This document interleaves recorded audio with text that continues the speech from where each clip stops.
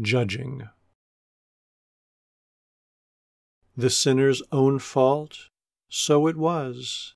If every own fault found us out, Dogged us and hedged us round about, What comfort should we take because Not half our due we thus wrung out? Clearly his own fault, yet, I think, My fault in part, who did not pray, But lagged and would not lead the way. I, haply, proved his missing link. God help us both to mind and pray.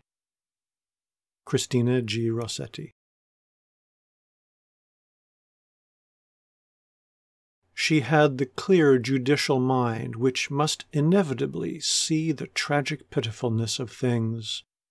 She had thought too much to be able to indulge in the primitive luxury of unqualified condemnation.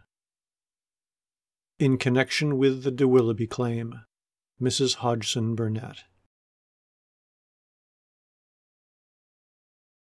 She was one of those lowly women who apply the severity born of their creed to themselves, and spend only the love born of the indwelling spirit upon their neighbor.